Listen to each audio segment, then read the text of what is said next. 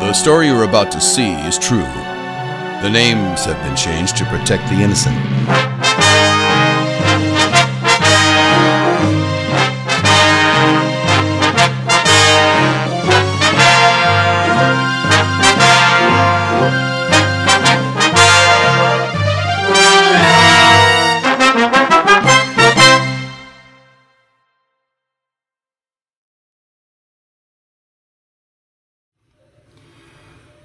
Good afternoon. It's Long Haul Tanker, straight razor shaving with Long Haul Tanker. And today is the uh, 30th of May, uh, Thursday.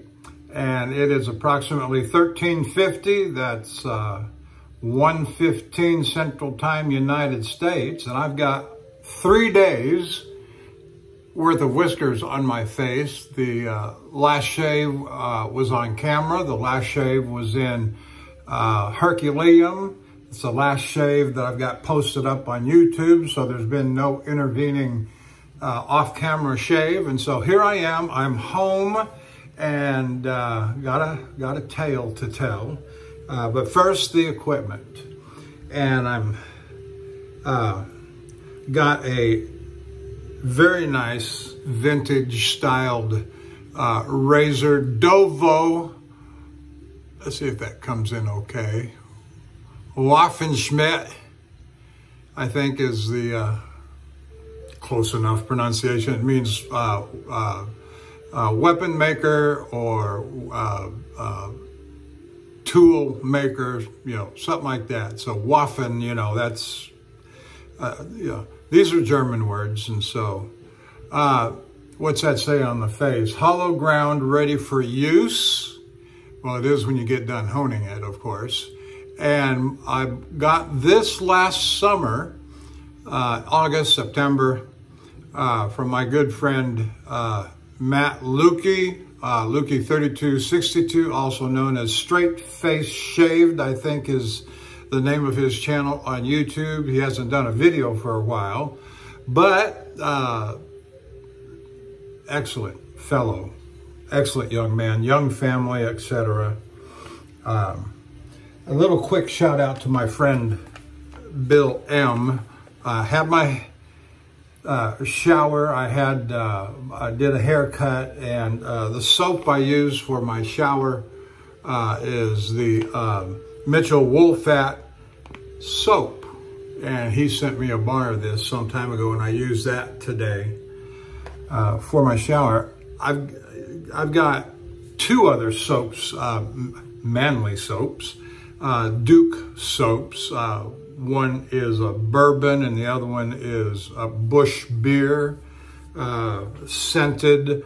Uh, and I've I think I've displayed those up before. But anyway, that's the razor. Uh, the soap is Baker Street Baker Street by Sterling. Same one that I used in the last video. I want to use it today because it doesn't get a lot of use. Uh, and the way my cycle seems to be running here uh, for a good little while is that uh, uh, a trip is lasting from, from Friday and I don't shave till Sunday, and then I don't shave again till I get home on Wednesday, and I'm getting a basically two shaves a week, uh, which has lessened the number of shaves that I'm getting, and so lessen the number of uses of my of my soap and brushes as I rotate through them more quickly.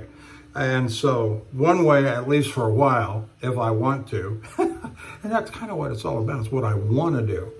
And so I'm using um, what I want to use, which is that one soap. It's only been used one time on this cycle, and so I want to use it another time.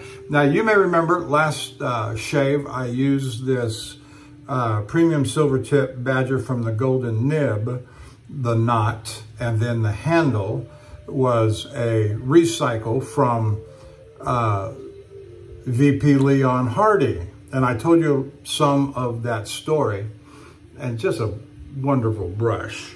Uh, I like the height on that. I like the bulb.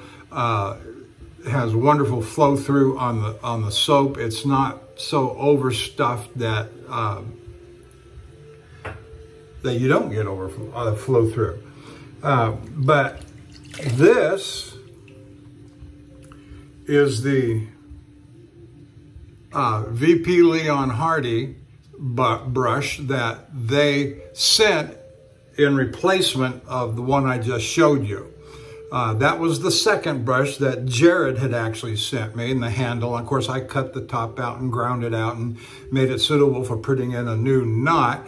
Uh, and this is the 30 millimeter premium silver tip badger from VP Hardy uh, in Leon, in, in Leon, in Germany. And so I'm gonna put that back in the water. Uh, so we got the soap, we got the blade, we got the brush. I made mention let me get my face a little wet.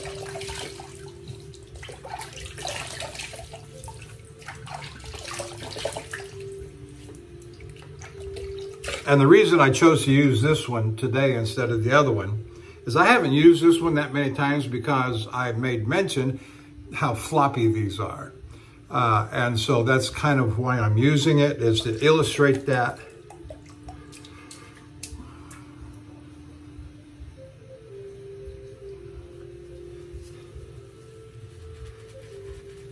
And I almost have to hold the bristles a little bit at the base to get the lather going. I've done that before.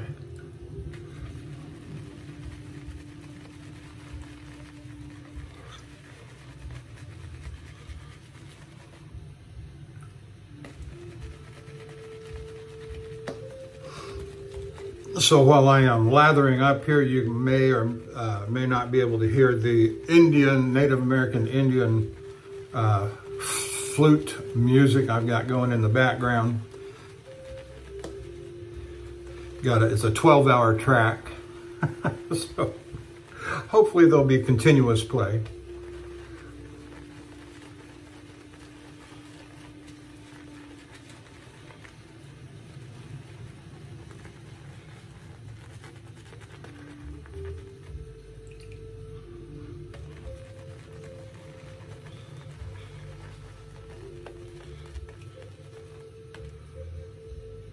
Well, I'm going with this amount, which is probably well more than I need. Here's my little leftover that I've got that I'll scrub in.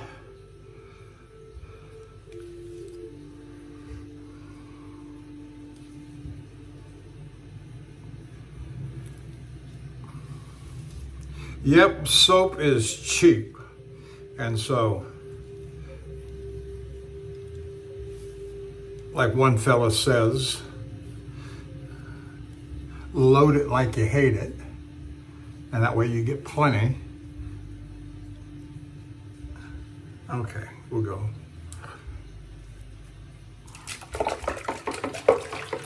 And there's a bit of a spearmint scent to this. I still haven't looked. Not that I'm a particular aficionado of uh,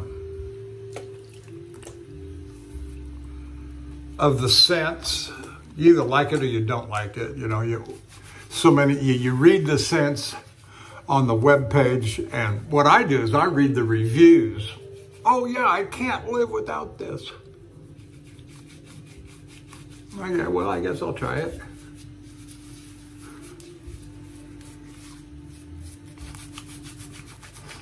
Now, somebody says, you know, if the website says this is an exact duplicate of vintage Old Spice. That gives you an idea what it's going to smell like.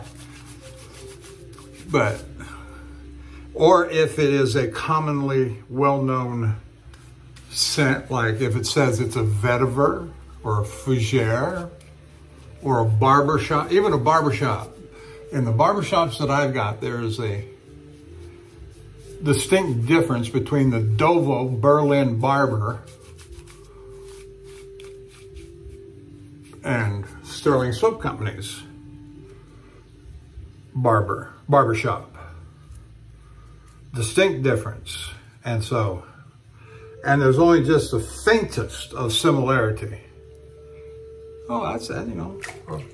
So, if I had bought either one with an anticipation of, or especially the Berlin Barber, with an anticipation of what it was going to smell like, um, I'd be wrong. Now,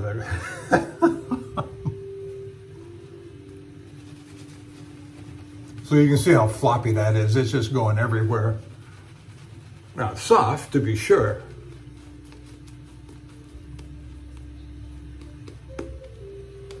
And it's going to end up being more of a painting motion than it is a scrubbing motion. There's just not enough backbone there to do anything with by way of scrubbing. But we'll keep adding water and painting it in.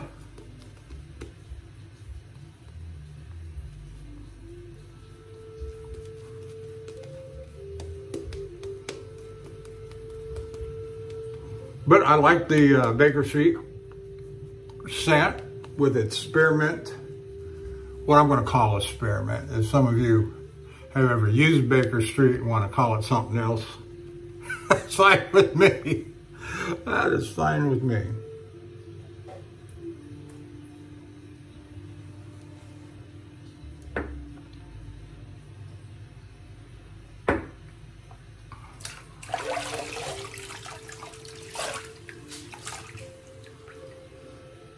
Well, the good news is, is that after I got unloaded on Tuesday and called in and reported that the load was delivered satisfactorily, and I told them that I wanted that next one on Friday because because of the holiday, how the uh, holiday Memorial Day uh, threw off the remainder of the schedule, or I say remainder, uh, threw off the future schedule of loads because they normally load on Friday, deliver on Monday, and I'm home by Wednesday. Uh, and so a Saturday load delivering on Tuesday, getting me home on Thursday without some forethought and planning uh, was not going to get me back out if I just let things plod along as they ordinarily do, I would not have gotten the Friday load. And I told them, I said, I want the Friday load. And I had to explain to them what my plan was. And the dispatcher said, well, as long as you got a plan, I, you know, I trust you. And so that's fine and well and good. And so I called my assistant terminal manager. Um,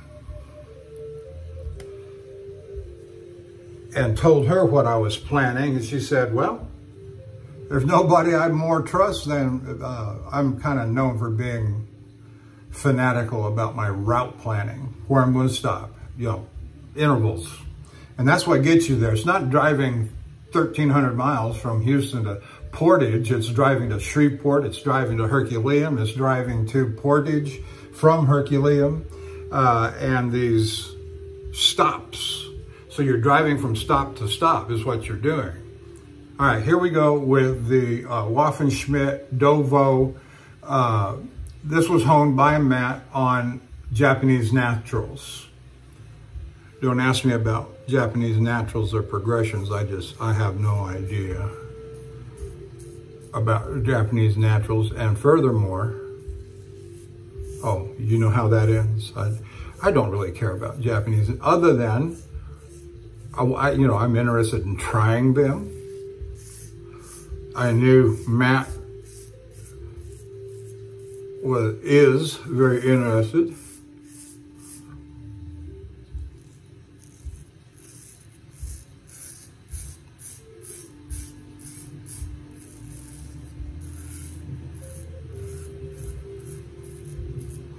In Japanese naturals, and I say, how about, how about honing that up for me on the Japanese natural? And he said, hey, that's a great idea.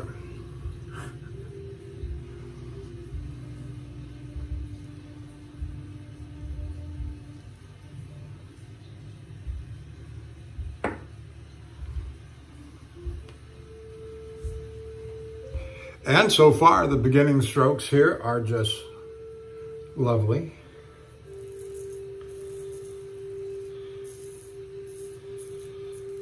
So here's, so I got the load for tomorrow. Uh, I got into the yard um, uh, by 9.30 this morning. And the return trip from Herculaneum, or not Herculaneum, but uh, uh, Portage, Wisconsin is very quick. It's two 10-hour days from Portage to Steele, Missouri, Steele, Missouri to Shepherd, Texas, which is an hour and 15 minutes from uh, the yard, uh, which in our terminal yard is just on the very south side of the Hobby Airport.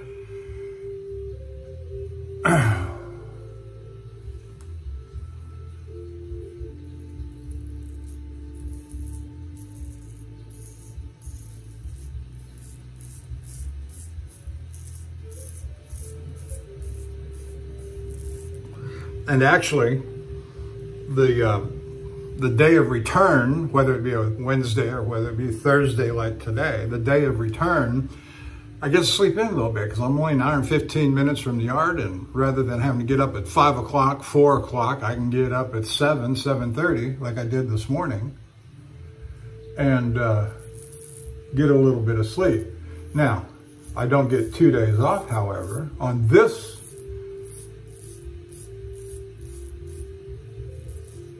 rotation and cycle. So I'm up at seven o'clock tomorrow morning, go down to the yard, be out of the house by nine o'clock or earlier, as early as I can.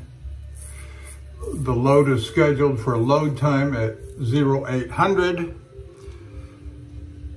and they have a preload driver on it and it will return to the yard most certainly by noon unless there's issues and there sometimes is. And I will be out the gate by 12 noon on my way to Shreveport, five hours. I'll get in there anywhere between 5 and 6 p.m.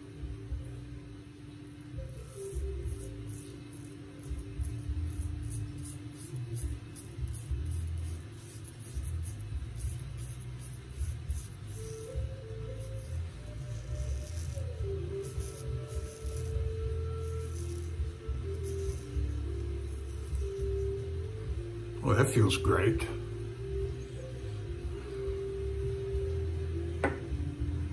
So here's the magic. I explained a little bit about hours of service, 70 hours an eight day. At the end of the eighth day, which would be Sunday morning at midnight, everything you've used or whatever you used eight days ago, uh, and the computer all keeps track of this whatever you used eight days ago becomes available to you or is added to your available and remaining hours come Sunday morning. So I returned to the yard this morning, went off duty when I'm done with all my exit stuff, and um, uh, 28 hours. 28 hours remains on the clock of my 70 hour clock in eight days. And that's just going to continue well, it's stopped right now, but it stopped at 28 hours. And so when I return to the truck tomorrow morning, I'll have my 28 hours and I'll get underway. Uh, so I can, five hours, uh, that leaves me with 23 to Shreveport. Uh, that'll come the end of tomorrow on Friday morning or Saturday morning. I'll have, um, um, what did I just say? 23 hours. And then from uh, Saturday morning from Shreveport to Herculaneum. We're going to call it 10 hours to easy math. Uh, and so from 23 down to 13. Uh, when I arrive at Herculaneum and when I get up the next morning, the Sunday morning, I'll go in, take my shower. It's my delayed morning uh, Her uh, from Shreveport to Herculaneum. And then it's a seven hour drive from uh, there to curbside parking in Portage. And so that leaves me then with um, about 16 hours. Well, in the meantime, on that Sunday morning, uh, I pick up five hours. Uh, what I drove to Shreveport a week ago.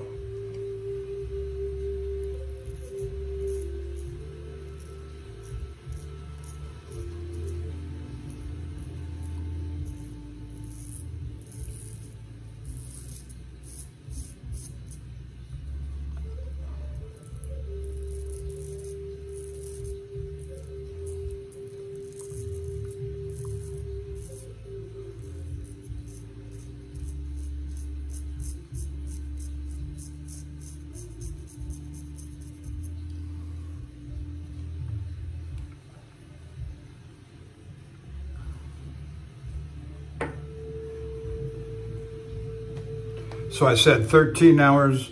Um,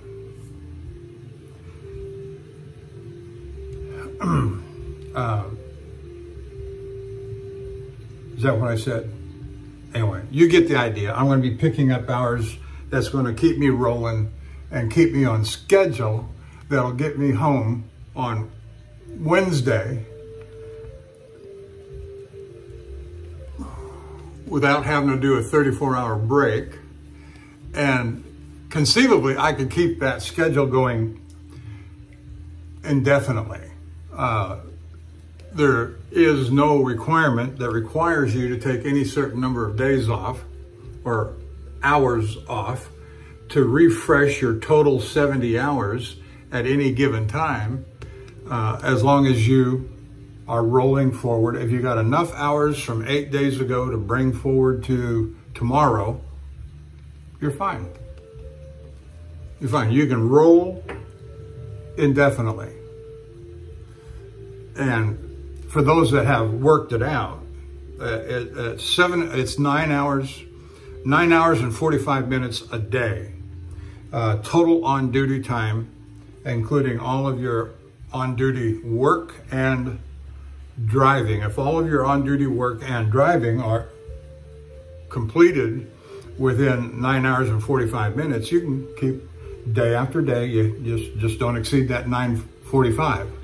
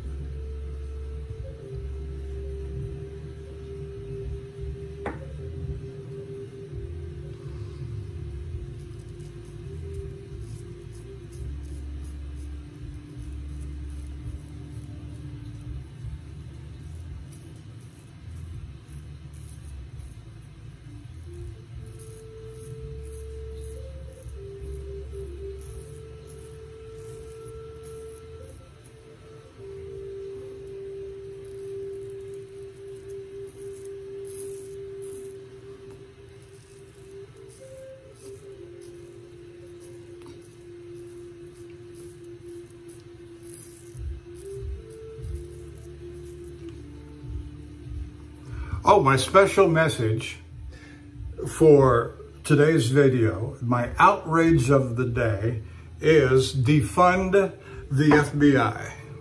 Defund the FBI. What a, I was listening to a, a radio program uh, just the other day and I'm not gonna, oh, oh, I know who it was. Uh, I don't even know if I can say his name and they won't ban me. I know others can say his name, but I'll just say it and see if they ban me. Steve Bannon, War Room, uh, talking to, I don't even know, I can say this guy's name, but I can identify his title and position, the Attorney General of the state of Texas. There was a, a country, a foreign country, uh, Herr Deutschland, uh, uh, back in the 30s and 40s, they uh, had this, yeah, dare I say, charismatic uh, uh, chancellor, and uh, he had a secret police. they had a, a certain name.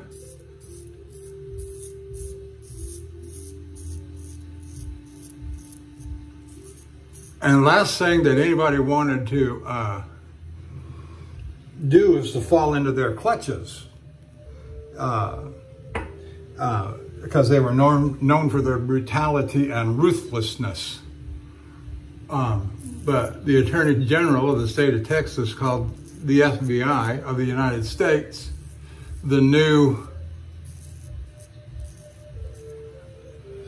secret police. You, and he used the word. I'm not going to say the word because I don't want to get my video banned.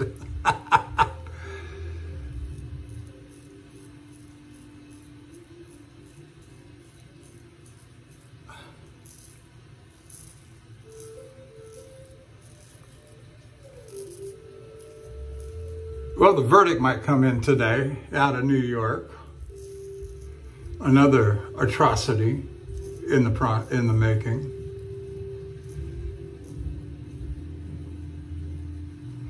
Does anybody feel like that this just can't go on forever?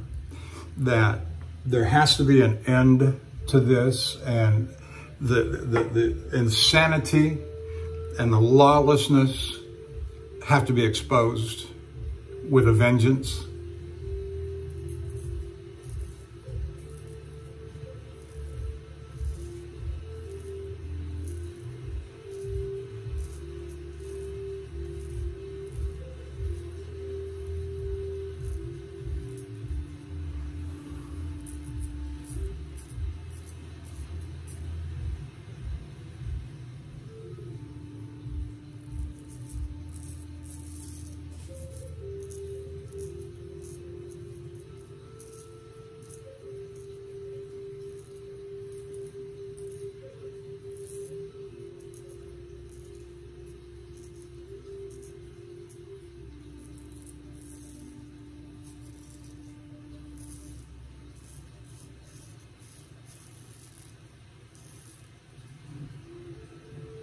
Oh, that feels so nice. It's just good to be home. I'm, I am a little bit tired. I did sleep in. Yes, I got those extra two, three hours this morning. And I'm going to be right back at it tomorrow morning,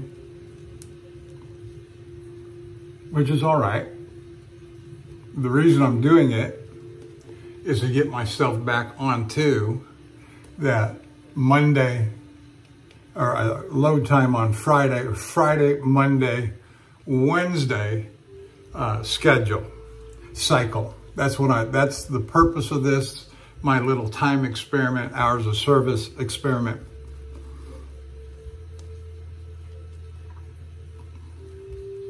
Because the fact of the matter is, there's no driver at our company. I don't know about other companies, but I don't know what the order and cycle is of the loads they've got on the load board. They don't show you the load board. Ordinarily, unless you just know or, or come to find out what loads are available by them telling you, oh yeah, there's a Canada load going out on Thursday, Calgary. I just said that fictitiously.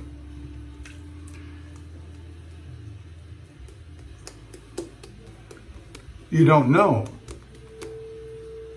And I'll tell you, it was several years of employment with this company before I found out that some of these loads had repeat loads, that they were regular loads that we did every week, two, maybe even two, three, four times a week. Yeah, we got four loads a week going out on that load.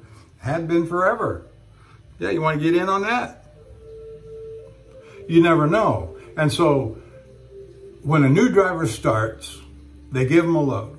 Go take that load. He comes back. Used to be you sign a board when you come in. Don't do that anymore, which adds to the confusion. And you, are on standby, right? Uh, you're a new guy. You you just started. You're on, and we're all on standby. But most uh, most of us now are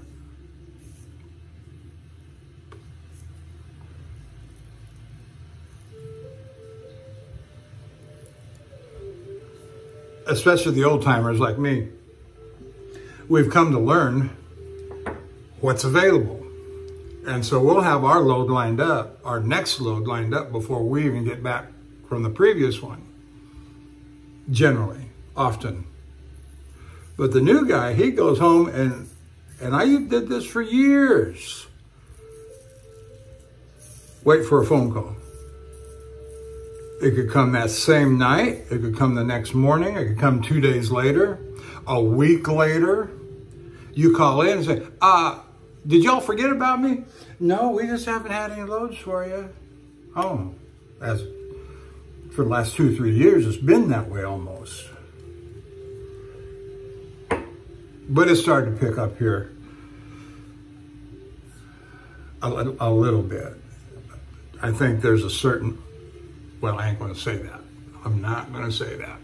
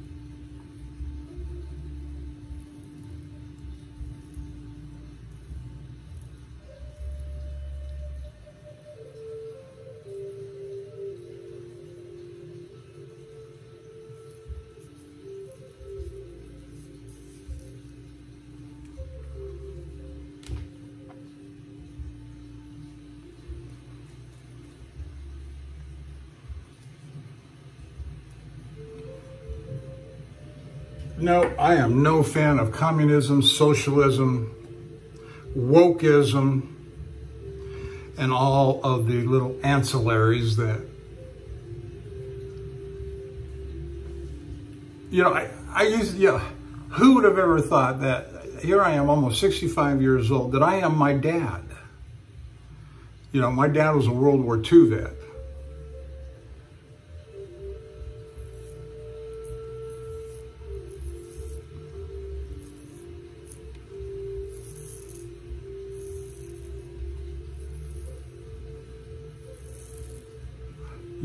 I am my dad. And uh, you want to see how socialism works in this country? Go watch John Wayne's movie. And this one is not nearly as popular. Uh, of course, he was a lot, uh, John Wayne was a uh, significant anti-communist in his day. Uh, Big Jim McLain I think is the name of the movie. Uh, you know who else is uh, who else is in that movie? He plays his partner in the uh, in the movie, and that's uh, James Arness. Do you know who James Arness is? Yeah, for 20 years he played Matt Dillon on Gunsmoke. And it was John Wayne that recommended him to the producers because they offered it to him and he didn't want to play a serial character like that.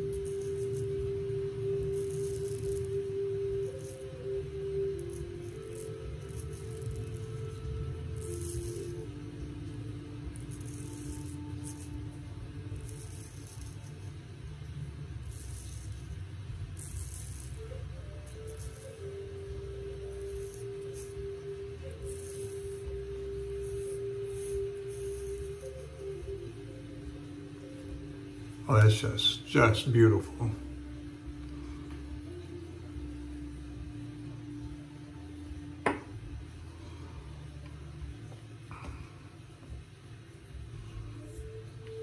Well, I don't think this uh, communism, socialism, wokeism's got too much further to go. I think it's just about burned its steam, burned its fuel.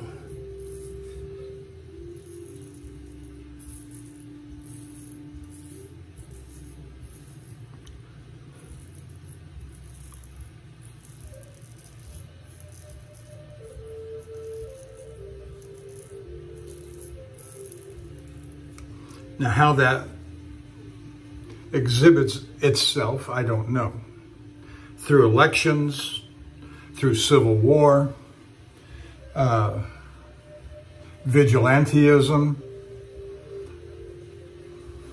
I don't know how that will exhibit itself. Uh, I know how it exhibited itself in 1773, uh, 1775, and eventually in 1776. Kill the bastards.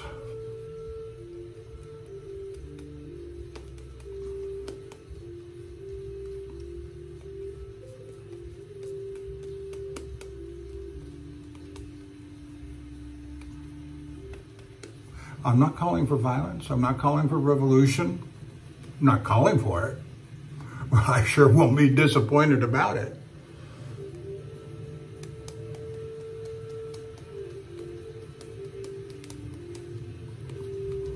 I'm too old to do much of anything except drive a truck.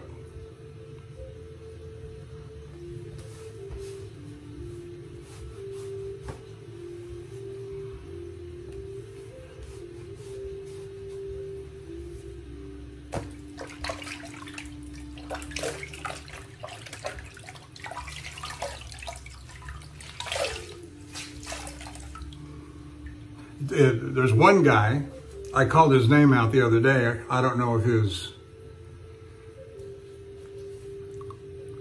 if that was part of what got me got my video deleted. Alex something, Alex something. Uh, he said uh, he has this nice little phrase. Uh, uh the answer to 1984 is 1776.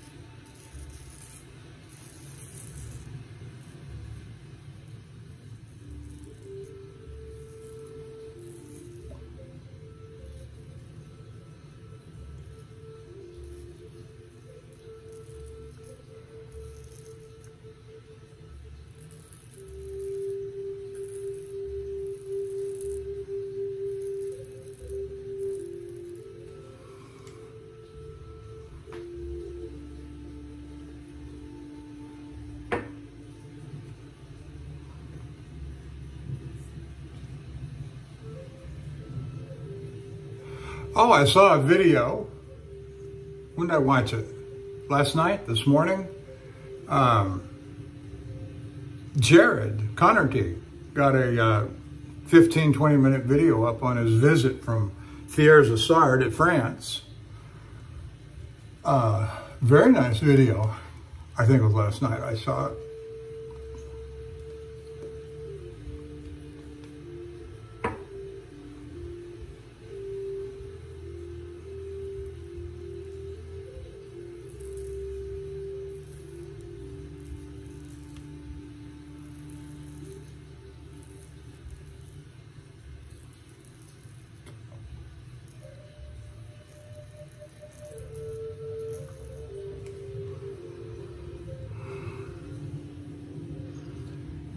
And so we thank and appreciate Jared for going and making the video and having his nice little visit over there. And uh, We thank and appreciate Thiers Issard for hosting him. I got a note back in the YouTube comment section. You can see it there if you wish. But he just, he talked about, it was a little short note. They were very gracious and hospitable to him.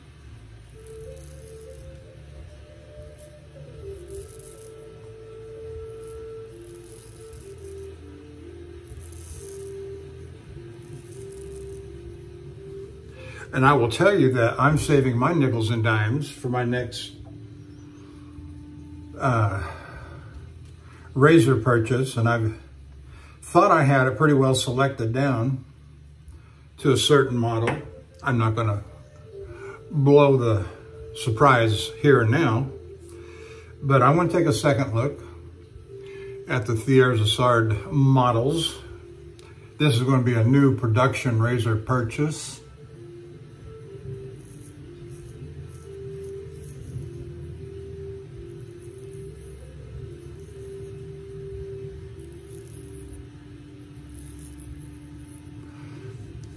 When I got into straight razor shaving nine years ago,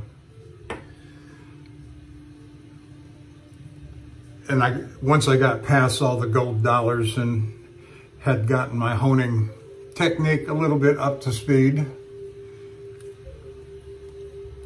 and started my, I had kind of said in a forum somewhere that, yeah, I'm going to be buying new production razors uh, because they're available. And if you want a certain kind of vintage razor, they're not available. And so I got a lot of blowback from that.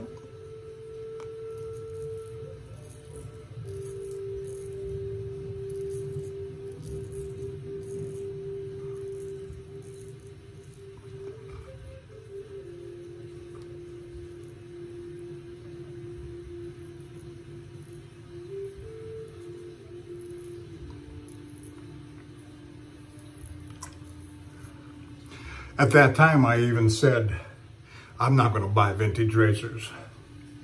It was kind of a naive, even nine years ago, you know, I'd be, what, 50 something years old.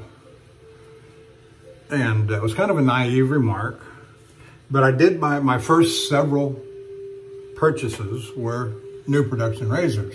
Thiers, Issard, and Dovo, and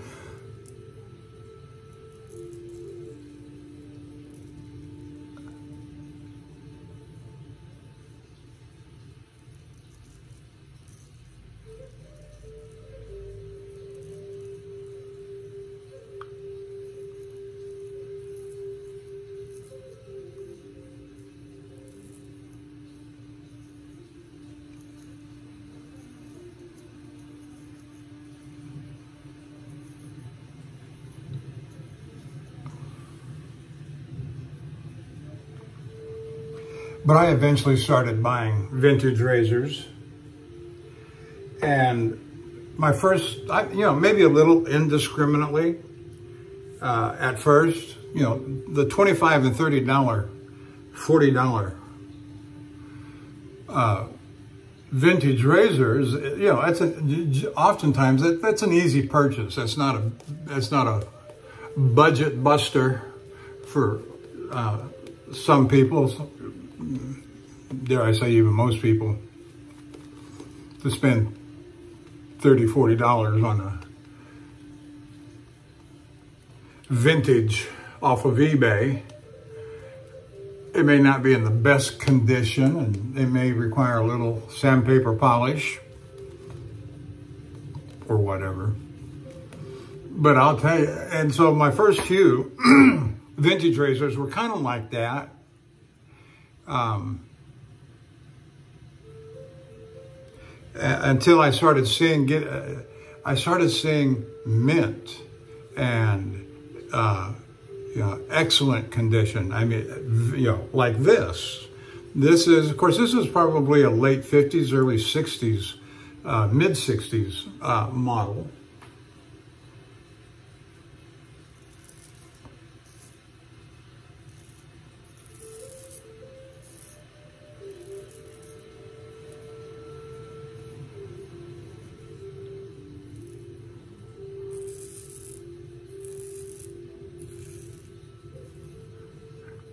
And so every once in a while they'll come along. Um, on eBay and they'll have a buy me now. Now here's the thing, you just got to be willing to push that button and you know, you got to have the money.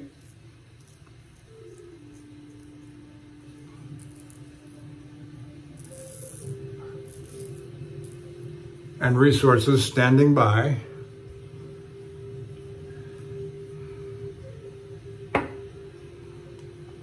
To pay whatever it is the seller wants when you're going to push that buy me now button.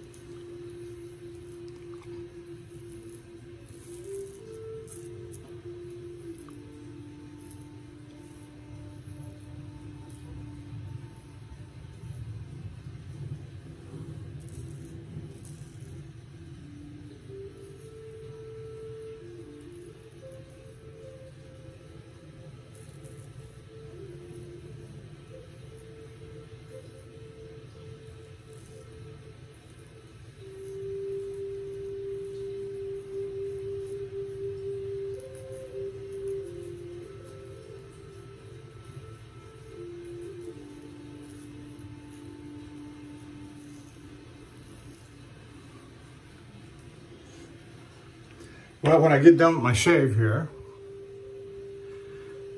on the way in, on the way home, my wife sent me a honeydew list. Stopped by a couple of places on the way home near the house. We live in a semi-secluded, I'd say secluded, uh, subdivision way up on the north side of Spring, Texas. And as you come up out of the subdivision, there's a kind of a business area. There's a Walmart and grocery stores and such. And she wanted me to stop a couple of places, and I said, okay. And uh, I got home, and I thought I'd gotten everything on the list. I failed.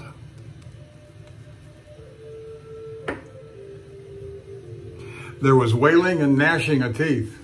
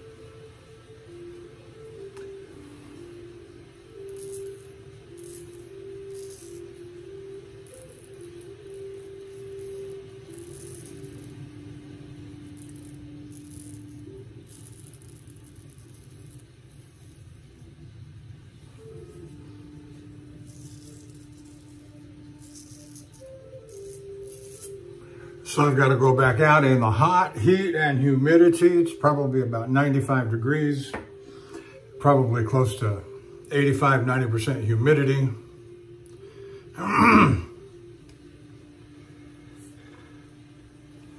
and summer is here.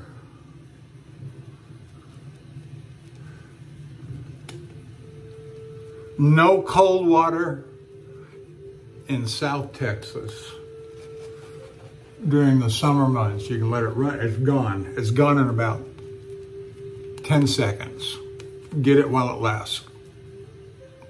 So you're doing a post-shave cold water cool down, rinse. It is gone. Of course, in Wisconsin, while I was up there, the, the water, the uh, uh, temperatures were quite mild.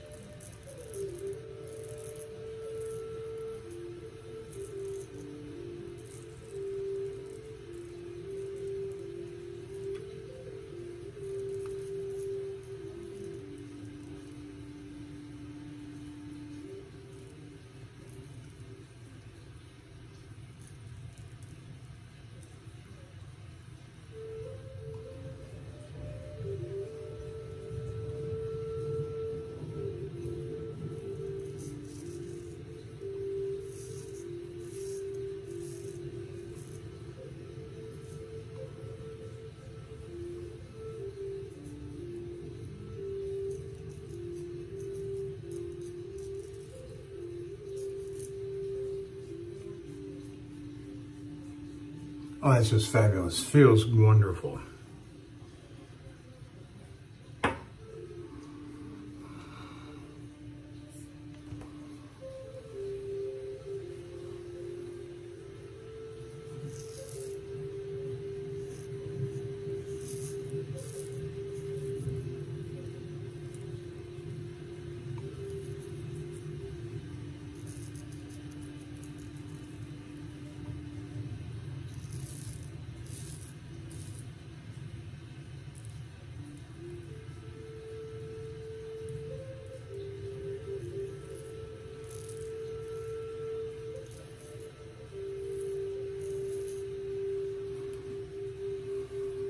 Well, I will tell you that this JNat edge contrasted with the uh, Coticule on the Wade and Butcher in my last video from Sunday, Monday, that'd have been Monday morning, which was Memorial Day. Um, compared to this one, the Coticule did not feel as crisp, did not feel as, you know, people equal crispness with sharpness. Uh, and so if you want to look at it that way, it didn't feel as sharp as this JNat edge. The JNat edge, edge is crisper and maybe not quite as, well, certainly not as smooth as uh, Coticule, Coticule edges are believed to be or reported to be. Uh, but I, I can almost, I can almost tell right now that I'm going to end up um, with a, uh, a good shape. And first of all, yeah, first of all, I'm going to end up with a good shave. But the Coticule ended up with a good shave. Uh, the only difference is the feel of the edge. And, well, that reminds me of something else I wanted to say too, but I'll save that for another time. Um, the thing about these stones is that it's just whatever edge you want to have, whatever edge you want to feel. Now, I do believe there is a distinction and difference in some of the edges, and so you get a smooth edge from a Coticule, you get a you know extremely sharp and crisp, aggressive edge from the synthetics and other natural stones fall somewhere in between.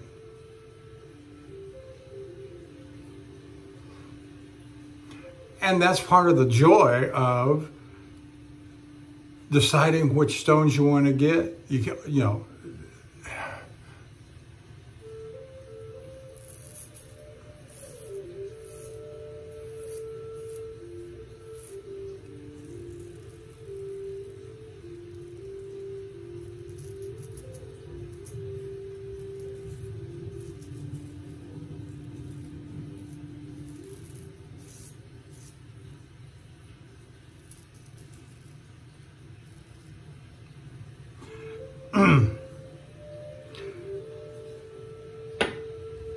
I really don't know anybody that's got a sample of a stone, of every kind of stone that's ever, you know, um, you know, some of those European slates and waterstone, not waterstones, but the air is something, or I, you know, I'm not, I'm not, I'm not even going to try. Um,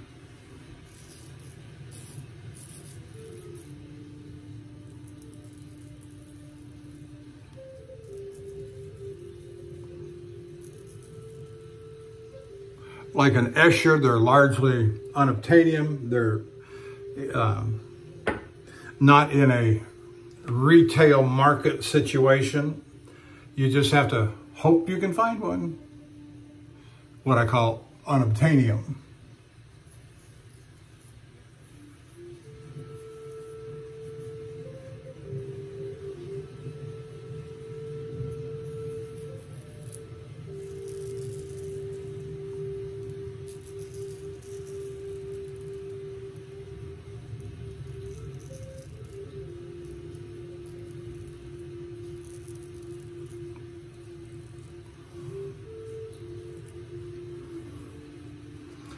So read about what you want to get, find a retailer,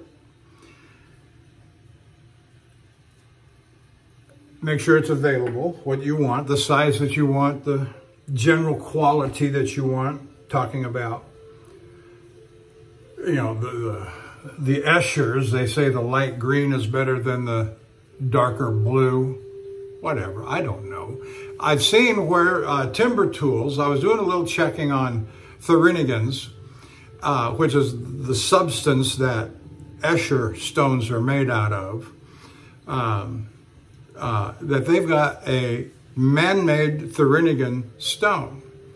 Now, I almost, almost, and I've decided against it. I'm not going to buy one. Because you can't get Thuringian stones hardly anymore. There's not hardly any retailers where you can go get, yeah, I want an 8 by 3 of that eight by three by one. I'll take an eight by three by half, but that's not my first choice. But no, I'm gonna stay with what I've got and I'm not gonna venture unless somebody just wants to give me a stone.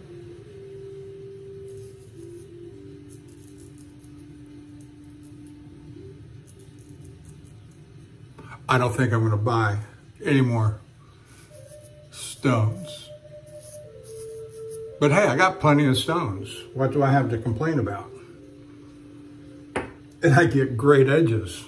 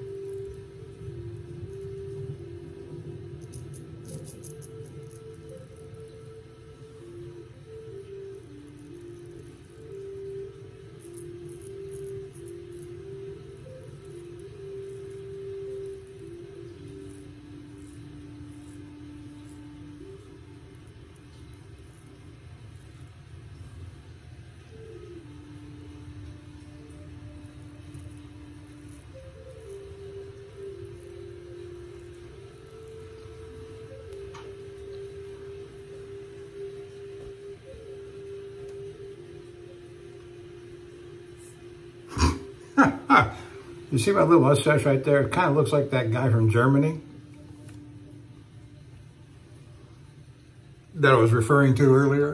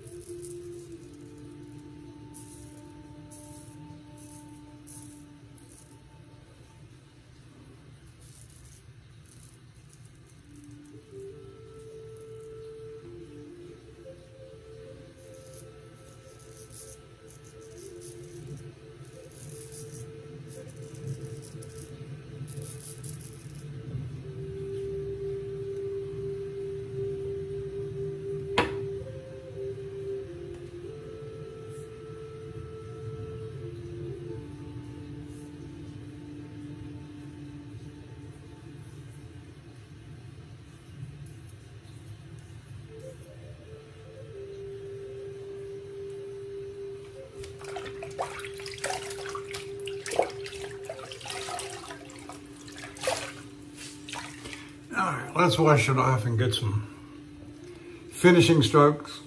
Yeah, I'm at an hour, eight minutes, 45 seconds, which is not uncommon for when I've had anything to say. Time just seems to lose track. And when I'm home and relaxed. Now, I wish I didn't have to go back out and do that last little bit of honeydew that I didn't do before I got home, but I got to do it.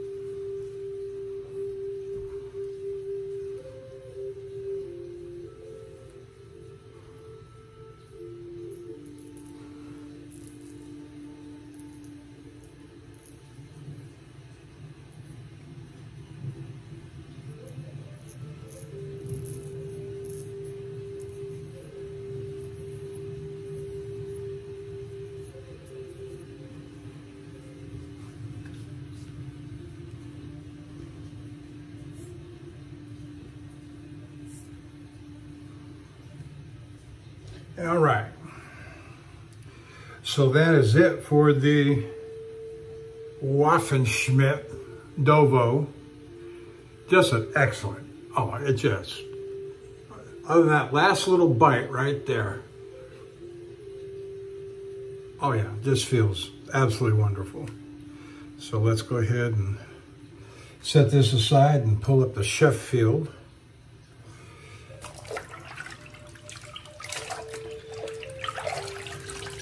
The soap is doing fine. The brush is doing okay.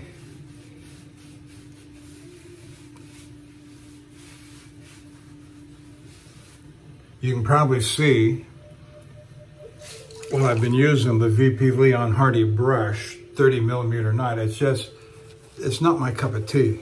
The way this knot, the way this knot is set. Now, I don't know if that's I just did, I don't remember that being the way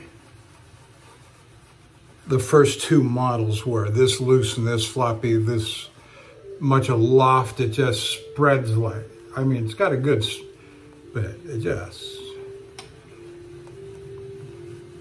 too much. Too it's too floppy.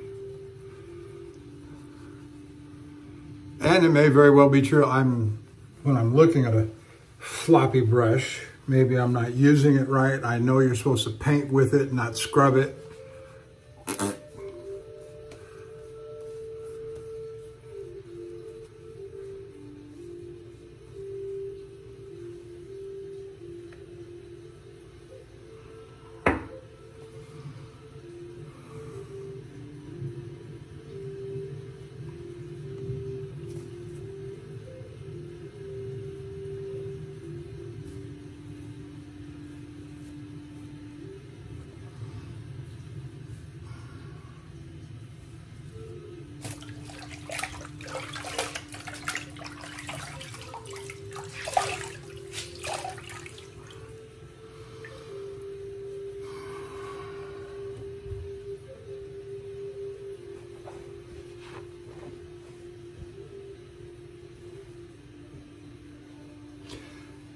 No name Sheffield.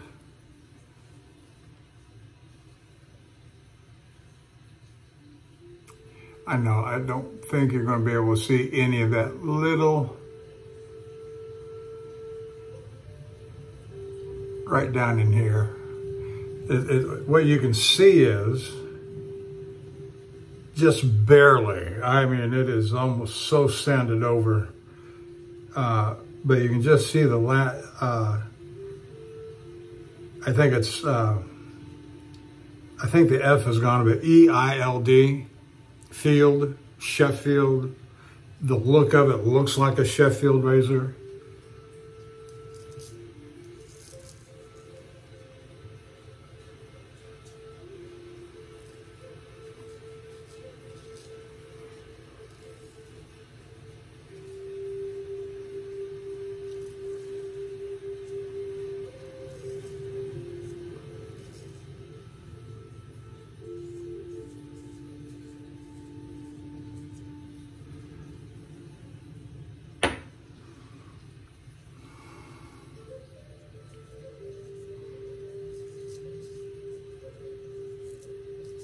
But I will tell you, it is an excellent head shaver. I love it. And it, it's, I've been using it a lot here lately and I may have a couple of more razors that I'm going to move from the active duty line to uh, reserve and they'll become a head shaver. So maybe two or three.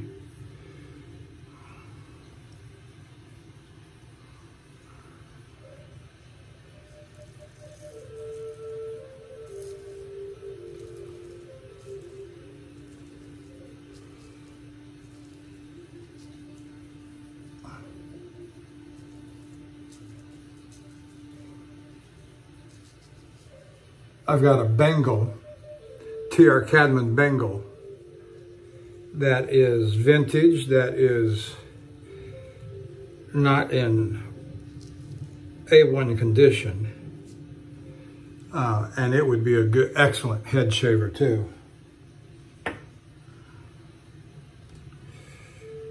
There's just a little bit of a, the, the, the apex on my Bengal that I'm talking about is just not straight. There's a little bit of a, mm, and I, you've seen it before. I've used it, and it shaves okay. It shaves okay,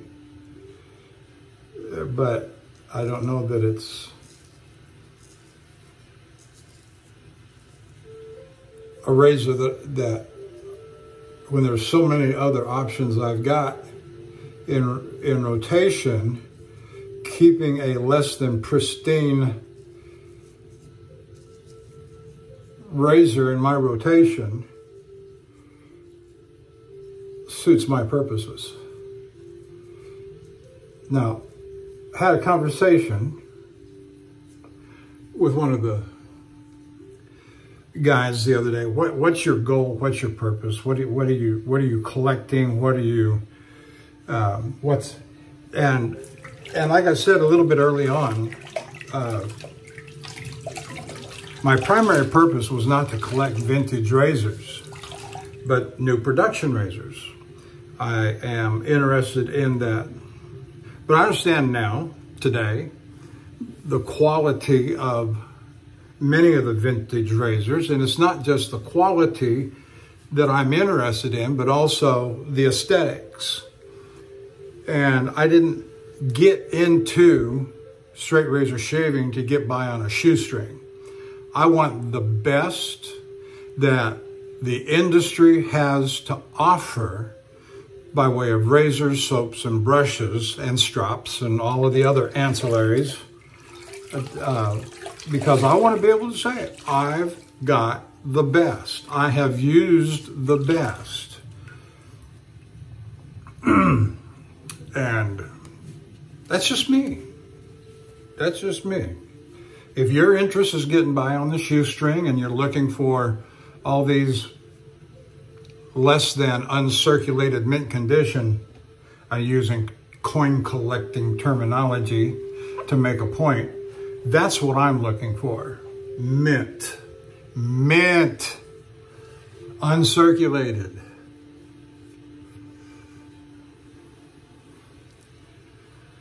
And some of my razors from earlier collecting, collecting, you know, seven, nine, eight years ago,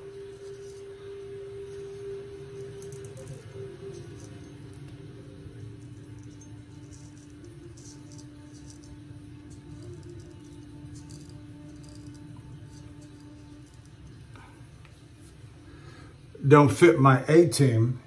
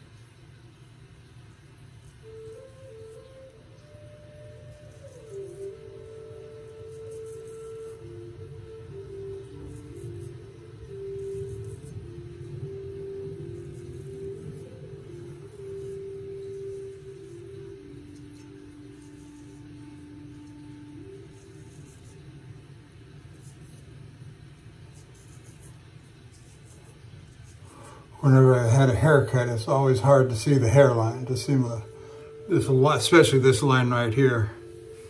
That's all right. I'm not too concerned today about maintaining. And now that I'm down to two shaves a week,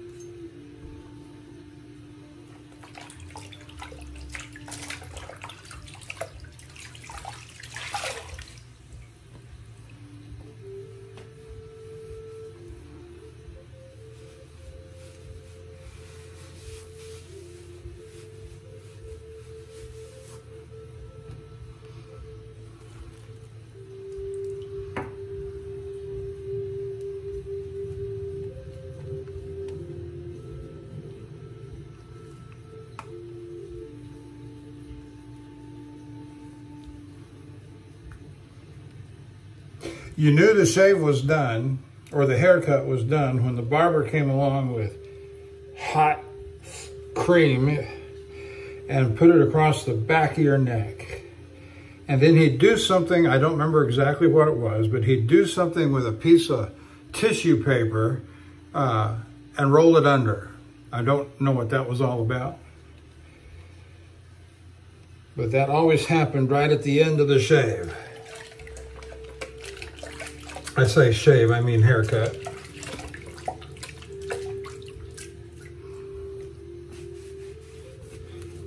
And the old barbers, they'd always shave the back of your neck with a straight razor, a real straight razor. Not these imitation. It's kind of like my mother used to have a bowl of fruit on the dining table bananas, apples, oranges, lemons, etc. And they were plastic.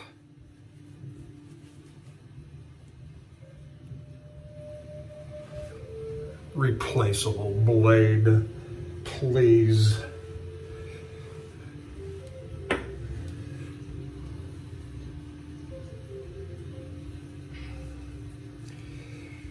And with a straight face, they call it a straight razor.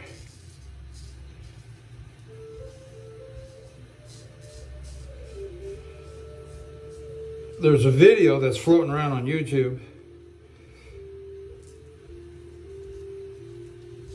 And if I remember, I watched it. Um, why people are not shaving with straight razors. and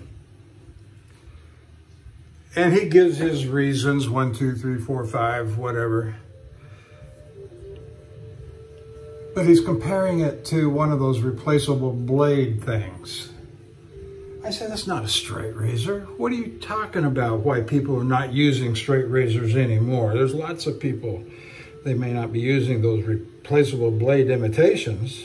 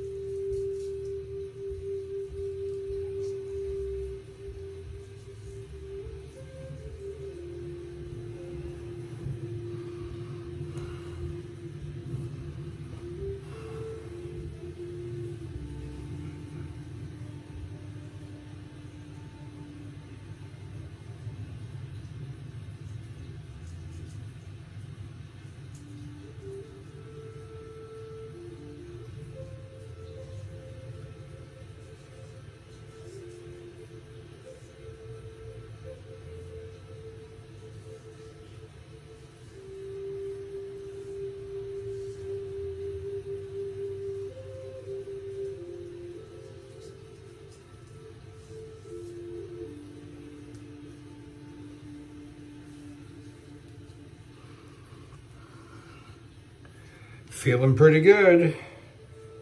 One little more stroke right there.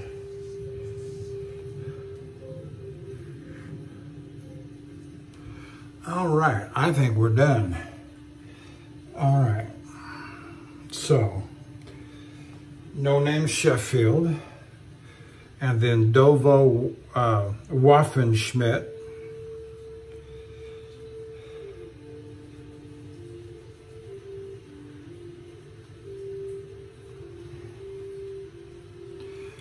VP Leon Hardy shave brush. I'm gonna set it down in the water.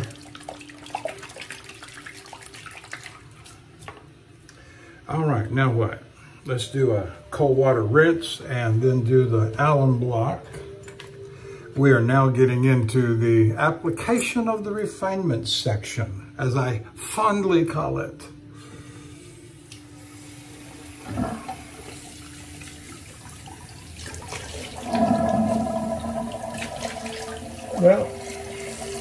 One splash of cold water, that's all I got.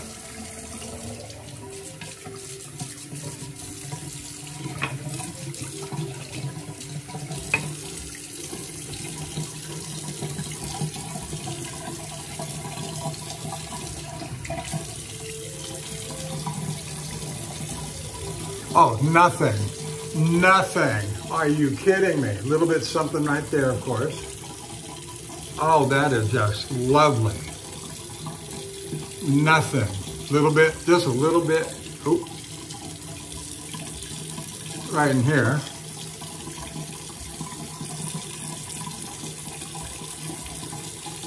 A little bit on the side over here.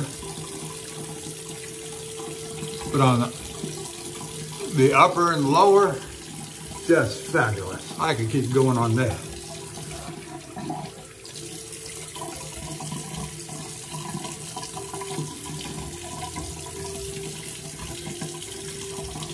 Nothing on the head.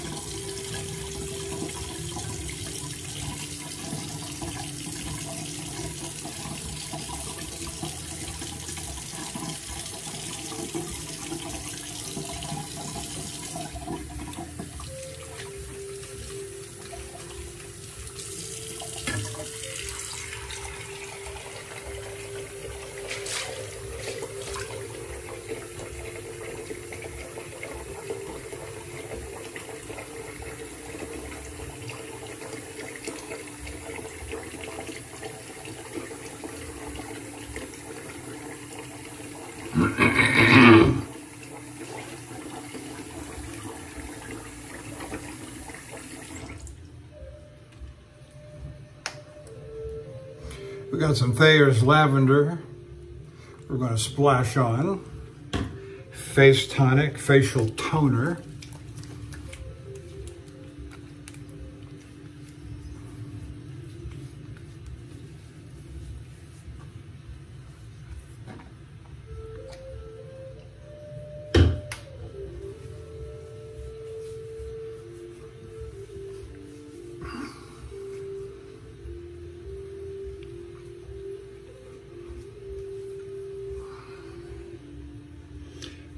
Let's let it dry for a second or pat it dry or something.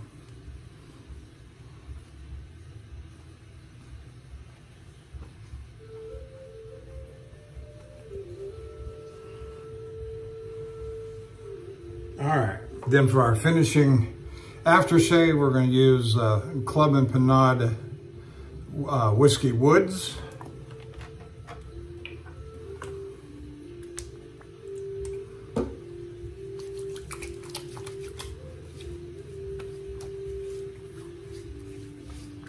Only the slightest to sting and burn.